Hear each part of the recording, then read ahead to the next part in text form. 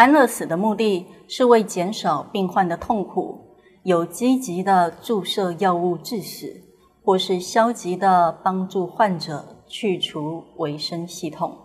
自然死与安乐死不同，所谓的安乐死是为减少病患的痛苦，以特定方式，例如积极作为为患者注射药物致死，或是消极作为去除维生系统。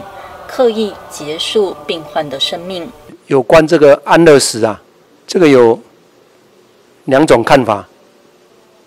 一种就是没有意义的生命啊，就没有存在的价值啊，而且是爱是在消耗社会资源呐。另一个角度就是生命存在有它的价值啊。佛法是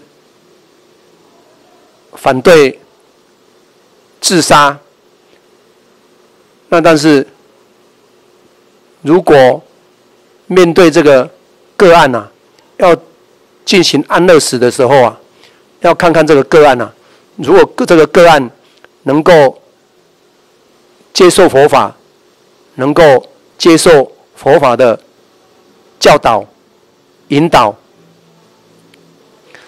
能够在一种很自然的状态、很欢喜的状态离开这个人世间舍报啊，这是可行的。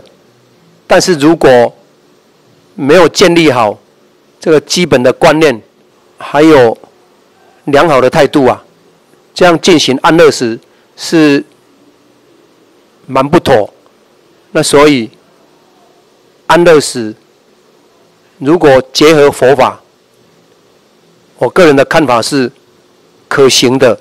面对明知救治无望的末期临终患者，因为进行急救而增加其承受痛苦的时间，这违反了不伤害原则。如果患者曾表达过不接受急救的意愿，医疗人员硬是予以急救，也违反了自主原则。十方新闻记者赖依荣。桃园采访报道。